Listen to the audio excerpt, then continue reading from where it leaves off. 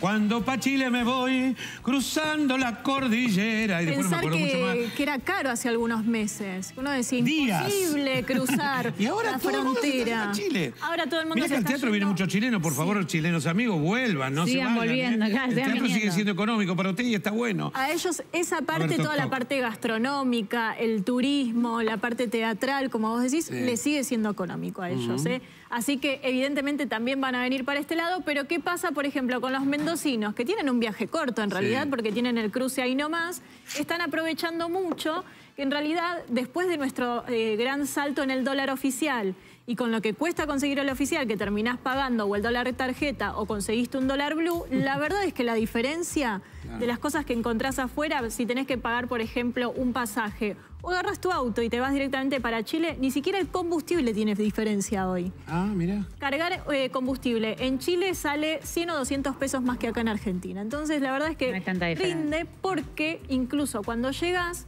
encontrás precios que son muchos más económicos, un 30% menos en Argentina Mirá. que en Argentina todo lo que tiene que Pero ¿no ver, pasó en ejemplo, Brasil también, con electrodomésticos. A mí me pasó en Brasil, Sí. que es otro lugar, otro destino que también se está utilizando mucho, todo lo que tiene que ver con electrónica, con gastronomía, con eh, indumentaria, mucho más barato que acá. ¿Por qué? Porque muchas de las marcas que llegan a Brasil no tienen todos los impuestos que están eh, llegando acá.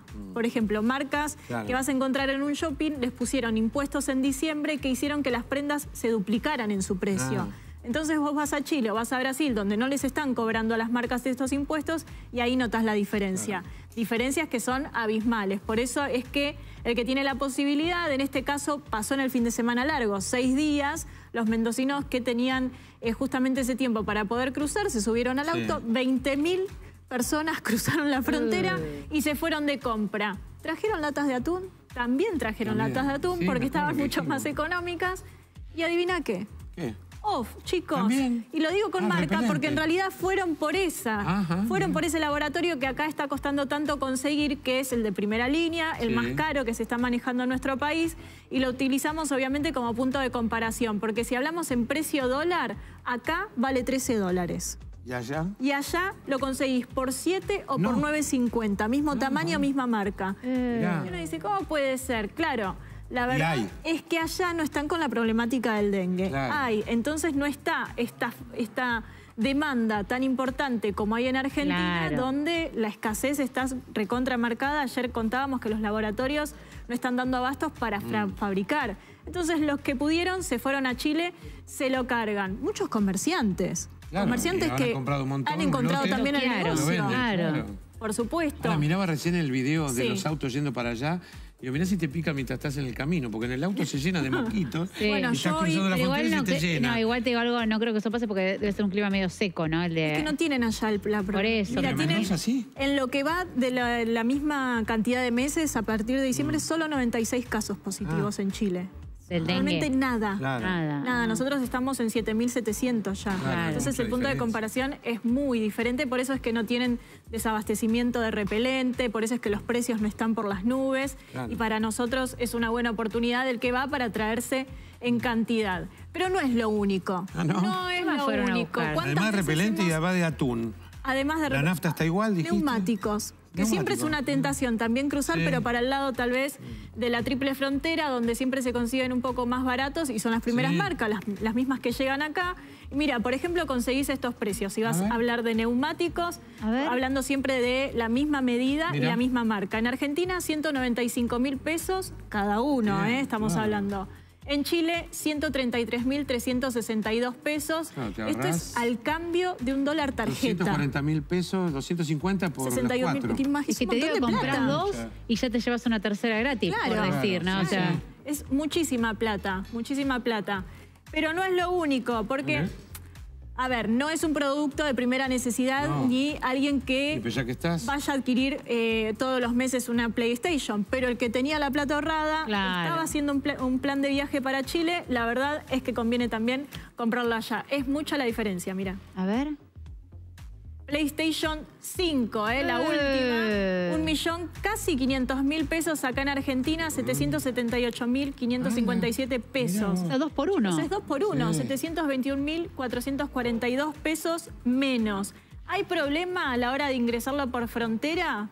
No, no, no. hay problema, lo podés ingresar. Incluso la- también lo podés declarar eh, si haces vuelo. Mm. Ah, ¿eh? También lo podés bien. hacer. Está buena la Así que, de eso. obviamente no en cantidad. Si ya llevas dos, no es de uso personal, entonces Claro. ahí vas a tener que justificar. Claro. Si Ah, lo pero traes en caja, también. Claro. Digo, hay que saber, ¿no? Eh, tener en cuenta eso. Si uno viaja por tierra, tenés un límite de 300 dólares en compras. Ajá. Si viajas por avión, son 500 dólares, pero si te compraste una PlayStation y lo traes desarmada y sin caja, puede ser uso personal. Ah, Entonces no es para negociar, Claro, para sí, reventa sí, sí. después acá. Entonces ahí podés eh, también hacer esa diferencia. Calzado, que acá está carísimo, Posible. imposible. Justo ayer imposible. veíamos los precios de las marcas. No lo podíamos creer. No. 108.999 pesos. Muchísima diferencia. Estamos hablando de una zapatilla también de primera primera marca, marca. Y te digo que hay más caras.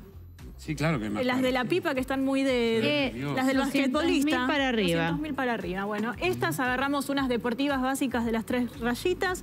109 mil pesos casi acá en Argentina, 42 mil 800 pesos. Hasta nos parece un regalo. Ah, ¿Cuánto Claro. vamos? Organicemos Claro. el tour. 66.199 pesos menos, o sea que la verdad es que es un negoción también. ¿Te conviene, te digo, ahorrar para el pasaje o juntarte Sí. con otra familia y decir, che, nos vamos dos, dos jefes, sí, o Claro. se van dos de cada familia y van a hacer las compras para todos.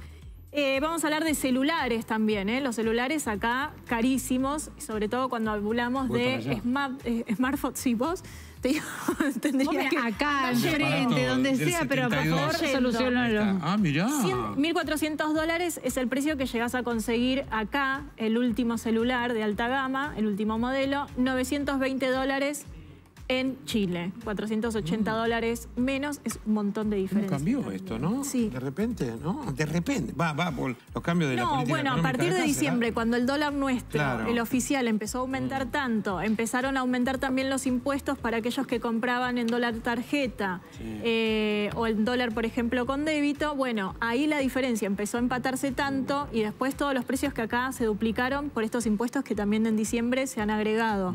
Entonces ahí, Claro, la verdad es que cual. ir a comprar una remera básica en una casa de surf, por ejemplo, que Sí. los chicos usan muchos, estas Sí, claro. que es- no estás hablando de menos de 45 mil pesos. Y afuera Una por ahí conseguís claro. por 20, 22. Estamos hablando de marcas que aparte son internacionales y que la vas a conseguir acá y allá. No Sí. son propias del país. Eh, por ejemplo, una de las marcas que acá se consideraba, lo digo, total no pasa nada, es Sara, que se consideraba como lo económico dentro de lo bueno. Ha crecido tanto también su impuesto que duplicaron sus precios. Pero ¿qué pasa? Sara tiene muchas cosas de eh, fabricación nacional.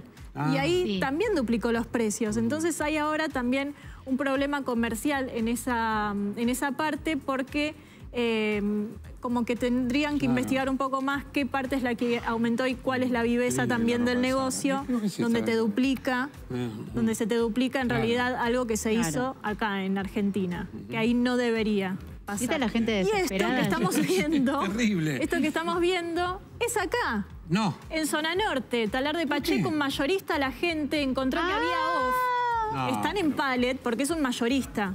Entonces, hay gente que probablemente lo esté comprando para uso personal, pero en realidad son muchos comerciantes, porque en Claro. el mayorista van los almacenes que están cerca Mirá de casa, vos. el supermercado chino. eh, estamos hablando de supermercados más barriales que tienen que ir a abastecerse aquí justamente, a los mayoristas. Esto es en zona norte y la gente se lleva de directamente los packs, Claro. porque obviamente es Si más para barato vos lo vas a usar y si no, le sacas una ventaja. si no le sacas una ventaja. El tema es que después ya no hay más. No, Dios. En un día se acabó. Y obvio. Pero también ellos tienen que graduar un poco. Yo Porque creo lo mismo. lugares, hay que poner un límite en cantidad de compras. Si vos sos... eh, Mayorista, mayo- tanto. Y Claro. si sos individual, dos o tres. Porque en general el, co- el comerciante Claro. que compra para reventa en su local tiene que poner un quit para poder tener también un beneficio en esos precios. Ah. Entonces podría tener un límite. Bueno, no te lleves 50, llévate 20. Claro. Y a la persona que va de manera particular, no sé, llévate 3. Me Claro, parece que más con- no. Y después volvé. Pero también nos da la posibilidad de todos encontrar de- el de- repelente. fábrica, no, una, una línea de, de perfumería Sí. y le daban uno por persona. Mm. Y me parece normal. Así tenemos todos. Todos porque, tenemos. claro.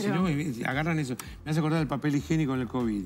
Bueno, y te digo, en el Ahora, en fin una de semana, se semana... acaban los mosquitos y todo eso, bueno, lo tenés que guardar como los Perfume. huevos de Pascua. Claro. De Eh, Navidad. que en el fin de semana, por ejemplo, a través de Twitter, se iban pasando, iban actualizando, por ejemplo, no sé, tal cadena de supermercado en Tiene. tal sucursal tiene, pero venden de a uno por persona. O sea, como que te lo iban. Y la gente se iba como moviendo a ver dónde había, porque la cantidad de mosquitos que Locura. estaban comiendo vivo y no había en ningún lado. Tremendo. Qué locura vivimos, ¿no?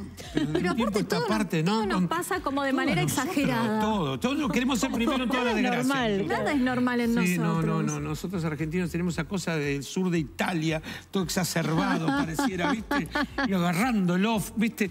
¿Vos te imaginabas alguna vez que ibas a agarrar un, un repelente con ¿Cuántas tanto veces no te lo pusiste porque no soportabas el olor y ahora te bañas? Claro, viste que alguien se ponía y decía, ¿quién se puso esa porquería? Te decían, yo porque no quiero que me piquen los mosquitos. Pero si no pican los mosquitos. Ahora la gente Hoy me tocó compartirlo. Años atrás agarrar el papel higiénico, como si Sí. uno cagara tantas veces en la semana. En Va, pandemia. En pandemia entrabas a los Claro. supermercados, no tenían ¿Pero ni servilleta ni papel favor? higiénico. Y los, los, los cosas como los rollos de cocina. Aceite también. ¿Cuánto vas a usar? ¿Cuánto usás? Dos milanesas, dale, che. Pensá en el otro también. Mira, hoy ¿no me tocó compartirlo porque fui a un destino ¿El en? Pilar. No, el, el repelente. Se lo compartí a uno de los cronistas que estaba ahí porque no tenía y la verdad que se nos pegaban en la ropa. Era No. impresionante, era un lugar con mucho césped. Se lo presté con un dolor igual. Claro. ¿Viste cuando decís, ¿No le quiñones? que ¿No le te- sacaste 500? No hice negocio. Claro. No, es terrible, Te es verdad, que nada puede ser